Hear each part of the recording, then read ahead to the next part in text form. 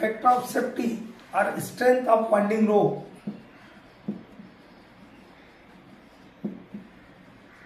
कितना रहता है जी?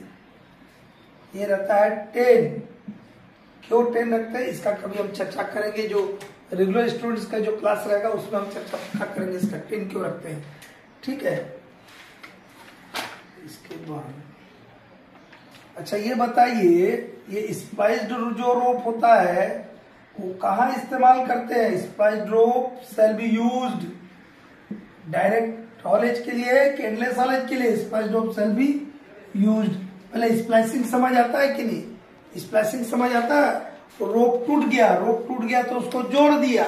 उसी को बोलते हैं स्प्लाइस ठीक है स्प्लाइसिंग तो स्प्लाइस रोप एंडलेस रोप के लिए इस्तेमाल करेंगे या डायरेक्ट नॉलेज के लिए? डायरेक्ट नॉलेज के लिए नहीं करेंगे भैया, देखिए डायरेक्ट नॉलेज क्या होता प्लेन टॉप प्लेन पे आपका रहता है इंजन वहाँ से आपका टप जो है नीचे जाएगा। ठीक है? क्या है? झटकाएगा जर्किंग होगा। एक। दूसरा बात, जब वो नीचे से ऊपर खींचेगा लोडेड टप को।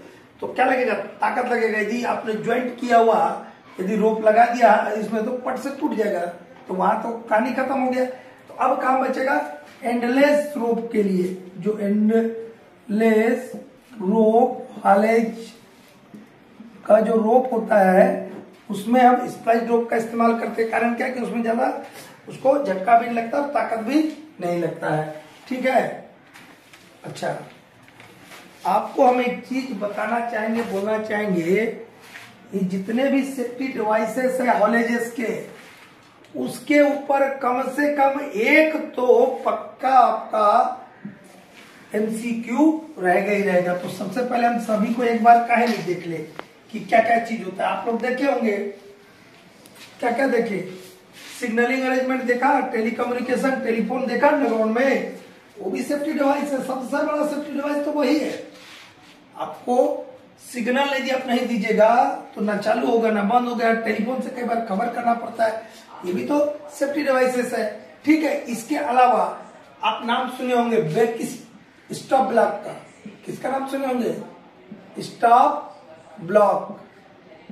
ठीक है? ये स्टॉप ब्लॉक जो भी इंक्लाइंट प्लेन होगा, उसके टॉप में लगाते हैं। कहाँ पे लगाते हैं? इंक्लाइंट प्लेन के काहे के लगाते हैं स्टॉप ब्लॉक जी? जो अनकंट्रोल टब है, उसके मूवमेंट को रोकने के लिए। ठीक है? स्टॉप ब्लॉक लगाते हैं। स्टॉप ब्लॉक के नीचे क्या लगाते हैं? रन अवे स्विच लगाते हैं। क्या लगाते हैं? रन अवे स्विच लगाते हैं। ठीक है रन अवे स्विच को ऑपरेट करने से क्या हुआ? उसको फाड़ देता है, आपका जब ट्रैक को फाड़ देगा ट्रक को वहीं रोक देगा। ठीक है रन अवे स्विच और स्टॉप ब्लॉक के बीच का डिस्टेंस कितना होता है? इस टाइप का चीज़ें पूछा जा सकता है। Distance between stop block stop block and runaway switch runaway switch आपका सेट ऑफ़ टब होता है? कोई में पाँच, दस, जो उस भाग के मैनेजर फिक्स करते हैं, उसका जो एक सेट ऑफ़ टब्स होगा, उस, उतना लंबाई प्लस दस मीटर और प्लस रखते हैं। उतना दूरी पे क्या रहेगा? आपका स्टॉप लॉक के बाद रन अवे स्विच रहेगा। क्या लिखेंगे इसको? Length of set of tub length of set of tub plus ten metre ठीक है? और क्या देखे भैया? कभी डायरेक्ट कॉलेज में जब लोडेड टब ऊपर चढ़ते हुए जाता है उसके पीछे में कोई एक लोहे का टुकड़ा टाइप का लगाते देखा है? उसको बोलते हैं बैक स्टे और ड्रैग क्या बोलते हैं जी? बैक में लगता है इसलिए बैक स्टे या ड्रैग लगाते हैं। ठीक है, ये डायरेक्ट कॉलेज में आपका एंडलेस कॉलेज में मंकी कैचेस रहता है। उसके ऊपर से टब गुजर जाता है तो दब जाता है, लेकिन जैसे ही टब गुजर गया तो खड़ा हो जाता है, ताकि पीछे नहीं आने देगा। ठीक है, वो मंकी कैच कहा रहता है या सेफ्टी, ऑटोमेटिक सेफ्टी कैच कहा रहता है? एंडलेस में। और ये डायरेक्ट कॉलेज में जो लोडेड टब ऊपर जब चढ़ेगा, प्लेन पे तो उसके पीछे लगाते ताकि पीछे नहीं आने देगा टक्स को। जाजरेल का नाम सुना है?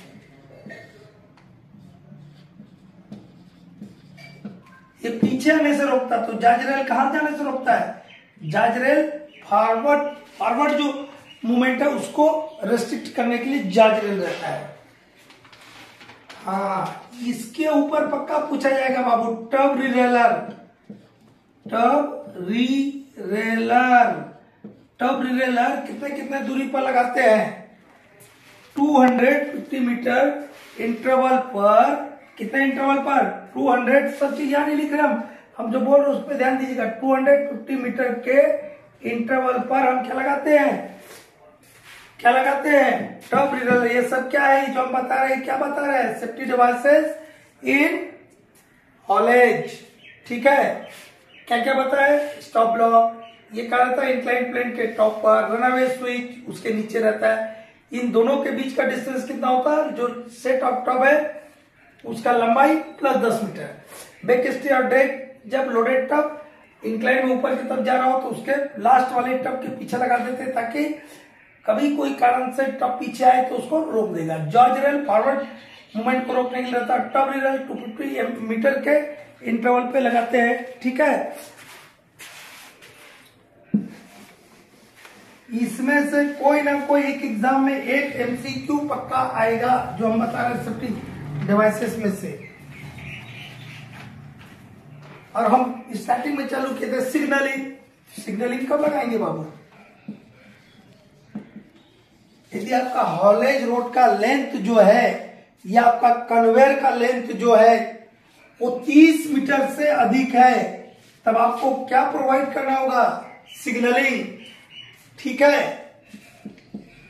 उसके बाद क्या प्रोवाइड करना बोला था? टेलीफोनिक कम्युनिकेशन टेलीफोनिक कम्युनिकेशन ये कब प्रोवाइड करेंगे? सब चीज़ का एक स्पेसिफिकेशन है। कितना? आपका सरफेस से लेकर के जो आपका हॉलेज है या कन्वेयर का लेन कितना रहेगा तब प्रोवाइड कीजिएगा आप टेलीफोनिक कम्युनिकेशन 300 मीटर कितना रहेगा? 300 मीटर और आपका जो भी टेली सिग्नलिंग अरेंजमेंट है टेलीकम्युनिकेशन अरेंजमेंट है that should be intrinsically safe that should be intrinsically safe इसका हम डिस्क्राइब करेंगे। इंटेंसिकल सेफ़ में कितना वोल्टेज होगा, कितना रहना चाहिए, कितना करंट रहना चाहिए, ये कैसे सेफ़ होता है, उसका एक दिन हम इंटेंसिकली सेफ़ इनके सेफ्टी टाइप ई और प्लेन प्रूफ पे क्लास लेंगे, ठीक है? ये आपके एमसीक्यू के लिए भी और रेगुलर स्टूडेंट के लिए भी। ठीक है, इसके बाद ये हो गया सब मेन होल ये भी इंपॉर्टेंट है, इसमें से भी कुछ ना कुछ आएगा भैया। मेन होल क्या होता है? कभी आप लोग अंडरग्राउंड का इंस्पेक्शन किए होंगे या जो नौकरी करते हो तो जानते हैं। जो आपका ट्रैक होता है हॉलेज ट्रैक होता है, उसके एक तरफ़ हमको मेन होल बनाना है। मेन होल क्या रहता है? थोड़ा सा इधर पॉइंट कीजिए, इधर पॉइंट कीजिए। मान लो जैसे मेरा साइड है, क्या है साइड इसको काट के आदमी को घुसने के लिए जुगाड़ बना देता है। उसी को बोलते हैं मेन होल ताकि ट्रैक पे रस्सा टूट जाए रोप टूट जाए, टप पलटी हो जाए तो आदमी जब भी मूवमेंट होगा रोप का तो आदमी मेन होल में रहेगा, ताकि उसको मारचोट से बच जाए। और इसका हम बताएँगे डायमेंशन बताएँगे। कितना कितना इंटरवल पे रखते हैं इसको? इसको जनरली टेन मीटर के इंटरवल पे आपको क्या बनाना मेन होल बनाना है। लेकिन ग्रेडियंट आपका वन इंच सिक्स से कम है। वन इंच सिक्स से क्या है? कम। वन इंच सिक्स से ग्रेडियंट कम है। Less than one in six है। तब आपको कितना इंटरवल में प्रोवाइड करना है? मेन होल ट्वेंटी मीटर पर। अब इसका साइज़ देख लीजिएगा। ठीक है? क्या बता रहे इसका डायमेंशन डाय डायमेंशन हाइट कितना रखते हैं? मेनोल का 1.8 मीटर हाइट कितना रहता है? 1.8 मीटर डेप्थ कितना रहता है? 1.2 मीटर और विथ विथ में थोड़ा सा ध्यान रखिएगा। हाइट 1.8 मीटर रखते हैं, जो मैक्सिमम ऊँचा से ऊँचा आदमी भी इसमें आसानी से घुस जाए डेप्थ 1.2 मीटर रहते है, और जो विथ रखते चौड़ाई, वो इस आधार पे रखा है, यहाँ पे बताएँगे हम अभी आपको, कि आदमी तो आसानी से घुस जाए मैनोल में, लेकिन तब उसके अंदर ना घुसे। इसलिए विथ तो जो है 0.75 मीटर से कम नहीं रखते हैं, और एक मीटर से अधिक नहीं रखते हैं। क्या बोले बाबू? विथ जो है 0.75 मीटर से कम नहीं रखते मतलब 75 सेंटीमीटर हुआ है और एक मीटर मतलब 100 सेंटीमीटर से ज़्यादा नहीं रखते। यदि ज़्यादा, एक मीटर से ज़्यादा रख देंगे तो टब घुस जाएगा। 0.75 मीटर से कम रखे तो आदमी ही नहीं घुस पाएगा। जो मोटा से मोटा आदमी, उसको हिसाब में रख करके ये फिगर दिया है। ठीक है, हमारे जैसा तो 0.5 मीटर में एंट्री कर जाएगा। ठीक है तो 0.75 मीटर से कम नहीं रखेंगे वेट मैनोल की और एक मीटर से अधिक नहीं रखेंगे। चार बार बोल दिए याद ही हो गया होगा। और डेप्थ 1.2 मीटर हाइट 1.8 मीटर, ये भी सबसे जो टॉलेस्ट आदमी होगा, उसको ध्यान में रख के फिगर दिया है। और ये याद रखिएगा इन जनरल कंडीशन मेनोल दस दस मीटर के कंट्रोल पे रहता है। ग्रेडियंट वन इंच सिक्स से कम है तो ट्वेंटी मीटर के कंट्रोल पे रहेगा। ठीक है, और कुछ है? अब ये बताइए कि जो सेट ऑफ़ टब निर्धारित होता है, उसको कौन निर्धारित करेगा? कोई भी कर देगा क्या? कि जो ट्रामर है वो, या वहाँ का जो भी आदमी वर्कर काम करता हो, अपने हिसाब से कभी पाँच बांधेगा, कभी दस बांधेगा, कभी आठ बांधेगा, नहीं। Set of M T R loaded tub shall be fixed by the manager of that mine who responsible and whose responsibility this manager manager क्या फिक्स करेगा? मैनेजर फिक्स करेगा कि M T R loaded tubs एक set में कितना, एक साथ couple होगा। M T R loaded tubs पूरा नहीं लिखना आपको समझ आना एक साथ, एक सेट में, एक बार में कितना खाली नीचे भेजेंगे और कितना भर्ती जो है, कोयला से भरा हुआ टब लोडेड टब्स एक बार में, एक सेट में रहेंगे। उसको कौन निर्धारित करेगा? माइंड का मैनेजर निर्धारित करेगा। ठीक है? और आप कभी देखे होंगे, ऐसा एक कोई हलेज ट्रैक है क्या है? हलेज ट्रैक है। ये ऊपर से नीचे की तरफ़ आ रहा है और यहाँ पे मान लो कई बार हमको फेस चलाना होता है। यहाँ पे क्या चल रहा है मेरे? फेस चल रहा है। तो हो सकता है यहाँ पे जो मेरा आदमी काम कर रहा है, ये रस्सा टूट जाए या कोई कारण से सवाए और यहाँ पे आदमी को मार दे। तो हम यहाँ क्या करते हैं? एक बफर प्रोवाइड करते हैं। ऐसी केस में क्या प्रोवाइड करते हैं? बफर प्रोवाइड करते हैं। बफर कुछ नहीं होता है। एक लकड़ी का ऐसा खंभा को गाड़ देते हैं। ठीक है? ताकि यदि आए भी तो वहाँ टक्कर होकर के रुक जाए, इसके नीचे जहाँ हमारा काम चल रहा वहाँ टब ना जाए। वो बफर हो गया। तो इतना हुआ। और और ऐसे दो दो चार चार पाँच पाँच छह छह भेजेंगे ताकि ज़्यादा बड़ा वीडियो रहेगा तो आप लोग भी देखेगा हम दो से तीन हज़ार एमसीक्यू भेजेंगे और उसके आधार पर भेजेंगे। क्या बोलते हैं? रेगुलेशन से भेजेंगे माइंड सेक्टर है माइंड रूल्स है, ठीक है? और आपका जो टेक्नोलॉजी का पुस्तक है, उससे भेजेंगे।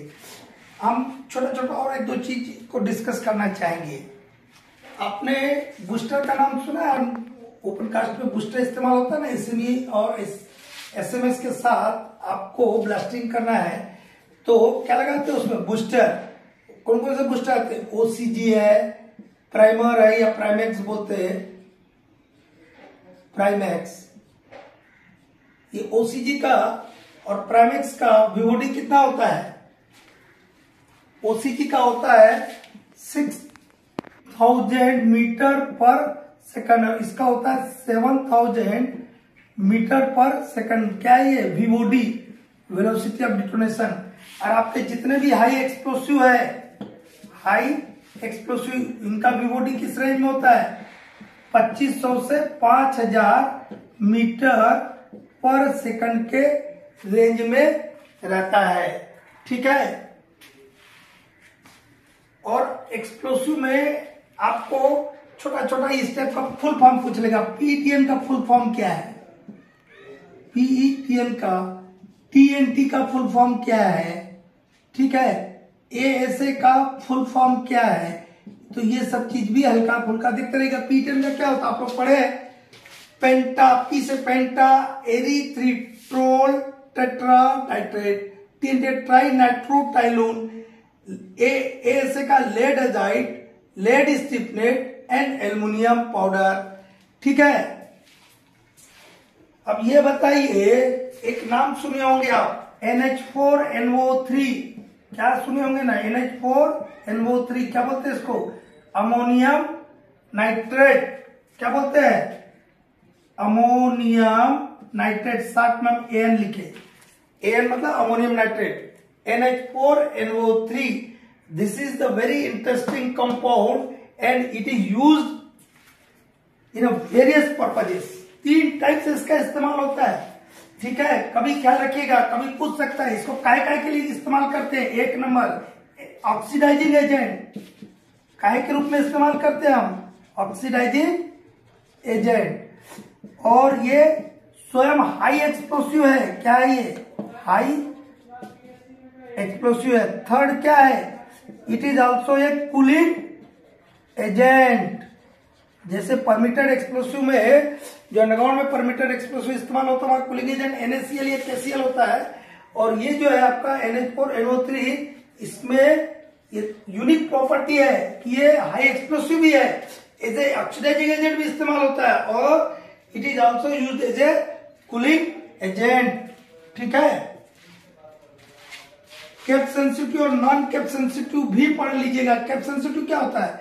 वो एक्सप्लोसिव जिसको डिटोटर के मदद से ब्लास्ट किया जाता है, वो कैप सेंसिटिव हुआ? वो एक्सप्लोसिव जिसको डिटोटर के मदद से, जिसको बिना डिटोटर के ब्लास्ट किया जाता है, वो नॉन कैप सेंसिटिव मतलब बूस्टर सेंसिटिव है। हमको एक्चुअली बनाना तो पड़ता कैप सेंसिटिव है तो उसके लिए हम क्या इस्तेमाल करते हैं? बूस्टर इस्तेमाल करते हैं, और बूस्टर को भी हम कैसे से उड़ाते उसको बुलाते डिटोनेटर से ही, ठीक है? लेकिन जो आपका एसएमई है एसएमएस है उसको डायरेक्ट डिटोनेटर से ना ब्लास्ट करके किसका मदद लेते हैं? हम बूस्टर का मदद लेते हैं, ठीक है? आज के लिए इतने फिर बाकी बाद में भेजेंगे।